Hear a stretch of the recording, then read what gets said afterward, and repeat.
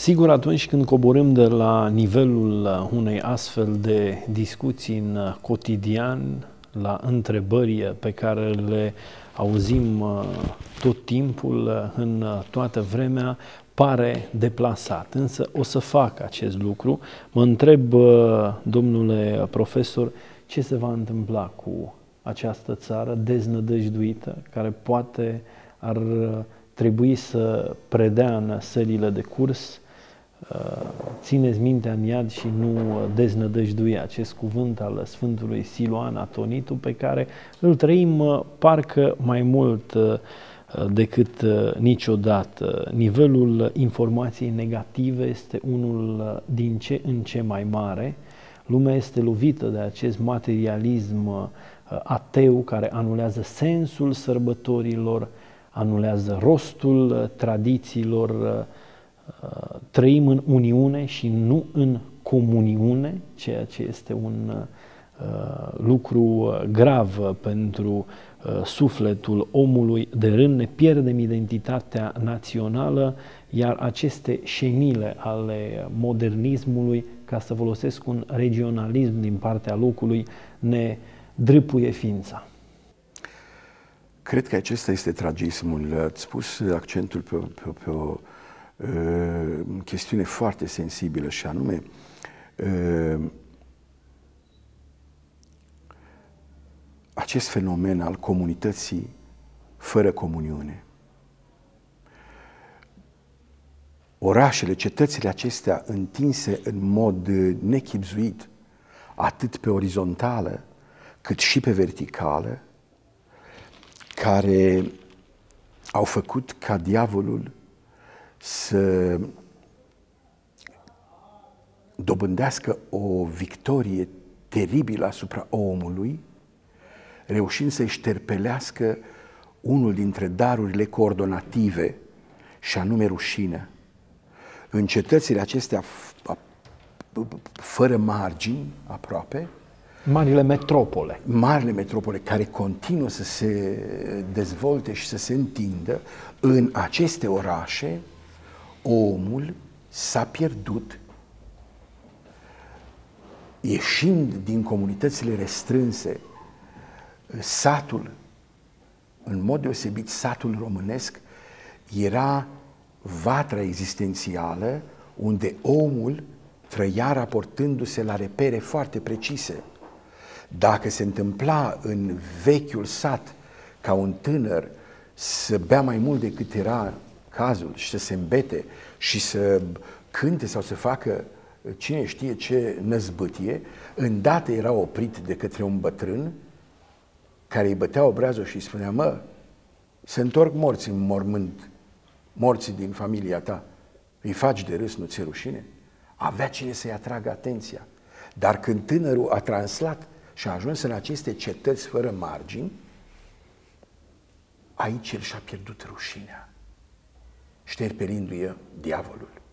Și aici a putut să se îmbete, să fure, să înjure, să bată, să violeze,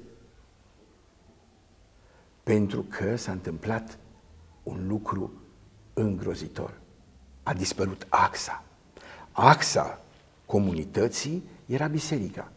În jurul bisericii se construia comunitatea. Când în biserică nu mai avea loc comunitatea pentru că se mulțeau și creșteau copiii, pentru că părintele era popul, cum am spus mai devreme, popul lua decizia și spunea, voi cei de pe deal aveți destule averi, destule domenii, începem să ridicăm biserică la voi pe deal. Și ridicau biserică pe deal, împreună toată comunitatea punea umărul acolo și când biserica era gata, așezarea din jurul bisericii se numea deleni. Când iarăși se mulțeau copiii biserică și nu mai aveau loc, popul din nou lua decizie și zicea, voi cei din familia Popescu aveți destul pământ aveți destule posibilități să ridicați biserică, fiindcă nu mai avem loc în biserică. Facem biserică în partea voastră. Și făceau biserică în partea lor și se numea Popești. Pentru că există în apropierea Bucureștiului Popești Leordeni. S-au adunat popeștii și cu unii leordeni făcători de cărămizi și-au ridicat biserică și au făcut comunitatea Popești Leordeni. Dar nu vedem noi cu trăierând țara noastră că cei de pe coastă și-au ridicat biserică și-au devenit costeștii,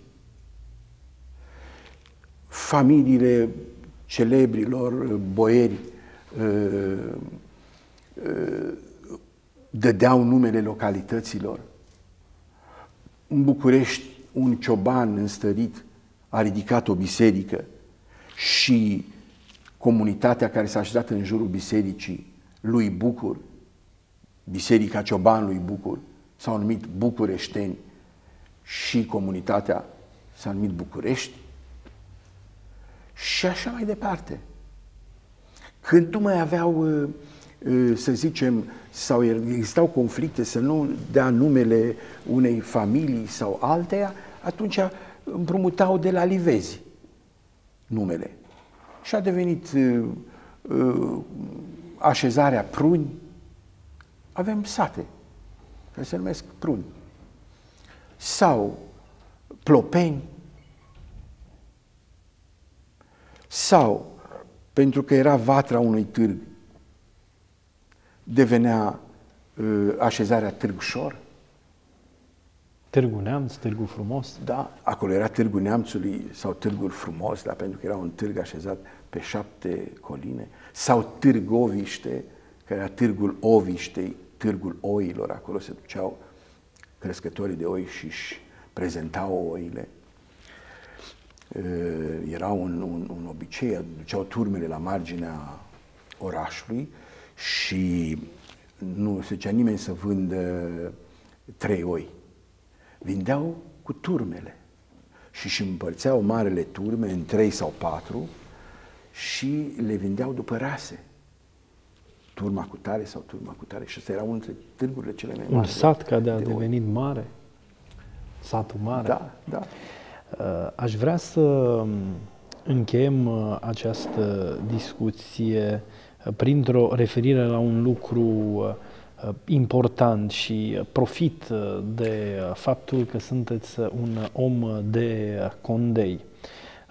Ce părere aveți despre neamul românesc care atât de mult iubește pervertirea limbajului? Nu este o fugă de responsabilitate. Crima a devenit întrerupere de sarcină. Mai nou, avort.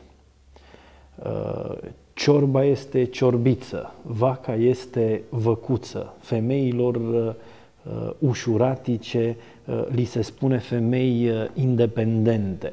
Toate aceste uh, lucruri ne fac să nu mai fim responsabili când le rostim, să nu mai uh, conștientizăm importanța celor uh, spuse, mai ales atunci când aducem această tipologie de limbaj în spațiul public. Noi nu mai prețuim multe, uh, domnule Drăgotesc. și în această uh, lungă listă de neprețuiri intră evident și lipsa de respect și de prețuire față de limbă. Numai că eu v-am rămas dator și vă rog să mă iertați, v-am rămas dator întinzându-mă cu răspunsul privind așezările, v-am rămas dator cu răspunsul la întrebarea precedentă, ce se va întâmpla cu România aceasta care pare tot mai deznădăjduită și am să caut pentru că n-am fost chipzuit să-mi uh, gospodăresc timpul pentru prima uh, întrebare, am să caut să răspund repede acum. Liniștit. Mulțumesc. Avem vreme. Uh, noi nu avem, dacă am sta să căutăm cu atenție, nu avem niciun motiv să deznădăjduim. Uh, dar nu avem niciun motiv să ne gândim că binele ar putea să ne-l aducă poștașul la ușă. Să sune curierul și să ne anunțe că ne-a adus o cutiuță în care este binele personal sau binele familiei noastre.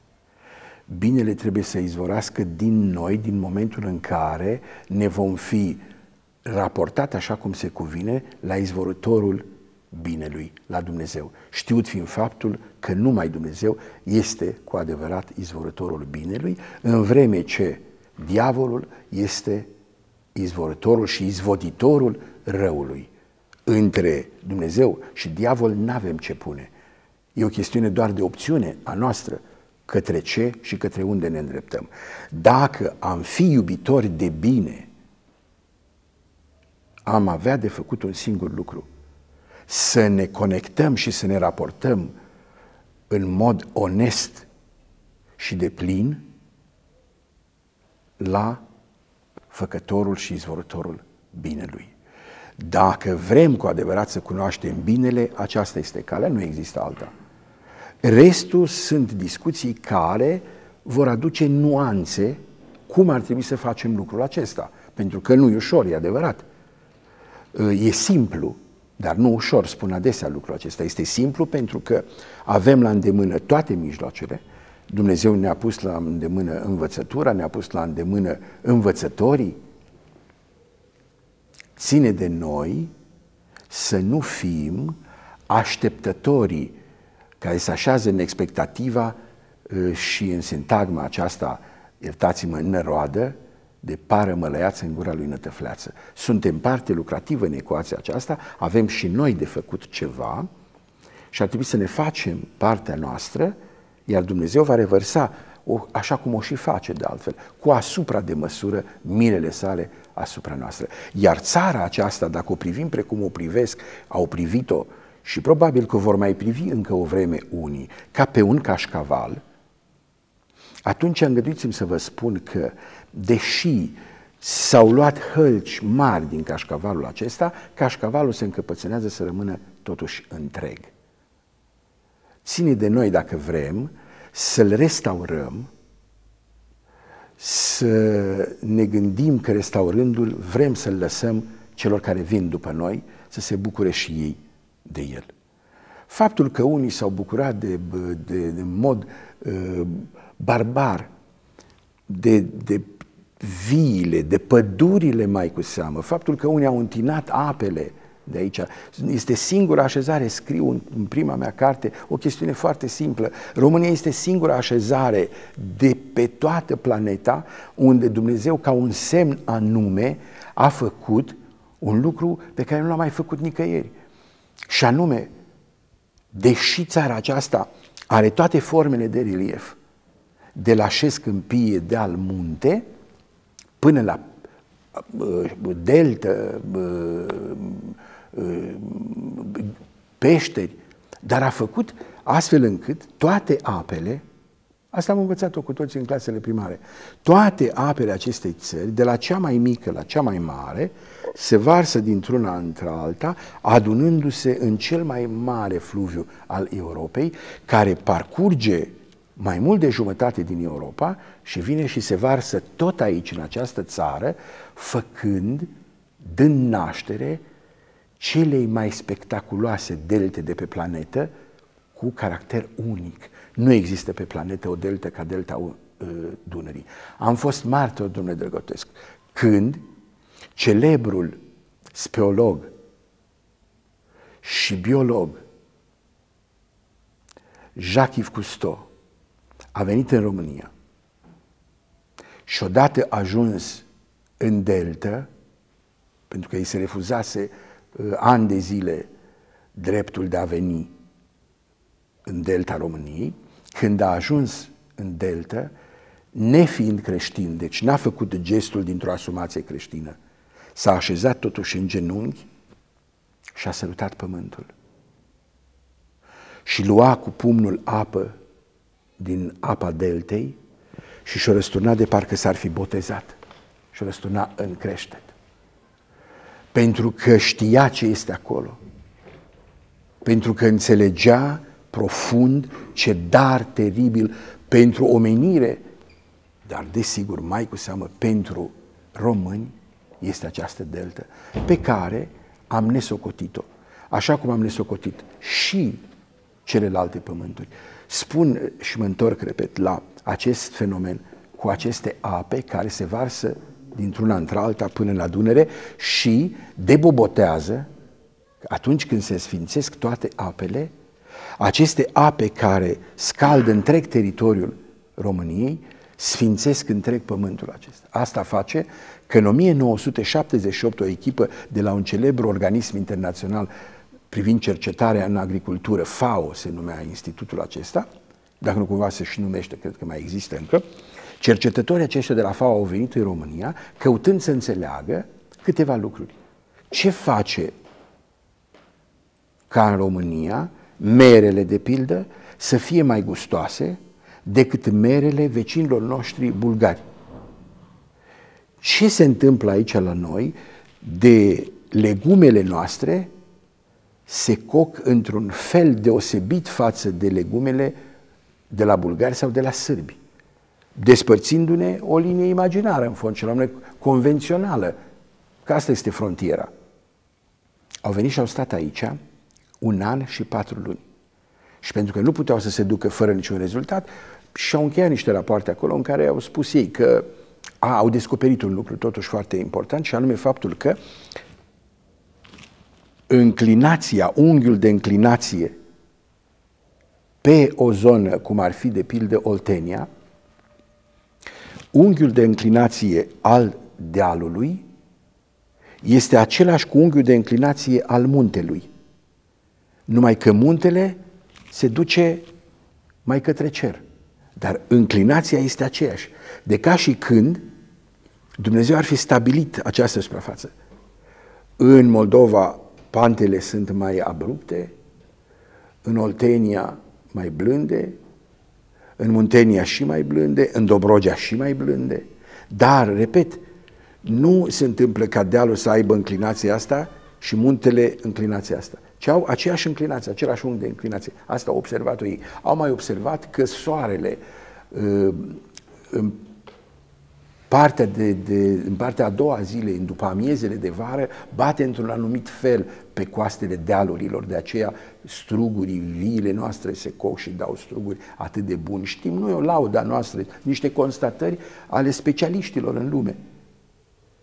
Ceea ce n-au descoperit ei însă, domnule Drăgătăs, că nu puteau să descopere, era acest lucru simplu despre care am amintit mai devreme, și anume faptul că de bobotează, apele acestea sfințesc întreg teritoriu și sfințind întreg pământul țării acestea, e firesc ca și legumele, și fructele, și celelalte roade și belșuguri să fie diferite.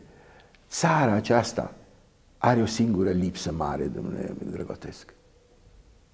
Și aș vrea să rețină cei care ne urmăresc. Țării acestea oameni buni nu-i lipsește decât dragostea noastră nu îi lipsește decât să o iubească românul, așa cum se cuvine. Asta îi lipsește, domnule Dragotez. Când vom iubi țara aceasta așa cum se cuvine, când vom da slavă bunului Dumnezeu și ne vom raporta la El așa cum se cuvine și nu vom aștepta binele de la alții și vom fi noi înșine doritori și lucrători între ale binelui, ne vom putea bucura de cele bune și de bine. Ne bucurăm pentru această întâlnire, ne bucurăm pentru lucrurile spuse, pentru lucrurile împărtășite. Sigur, telespectatorii noștri vor uh, vedea și uh, conferința uh, integral pe care invitatul meu a susținut-o la Petroșani cu o încărcătură Uh, specială, mai ales uh, dacă ați uh, citit și cele două cărți, pe de o parte lucrarea, pe de altă parte se întorc morții acasă. Cu bucurie vă așteptăm și altă dată să încălziți sufletele, din păcate, în aceste vremuri prea reci ale oamenilor, în general și ale românilor în special. Mulțumesc, mă simt în foarte multe locuri din țara aceasta ca acasă. În Valea Jiului, în Petroșani, am venit poate cu mult mai rar decât am fost în alte zone. Dar am spus venind încoace pe drum și spun și acum și voi spune și altă dată, nu știu și n-am o explicație de ce aici mă simt cu mult mai acasă decât în alte părți. Mulțumesc că m-ați chemat. Doamne ajută!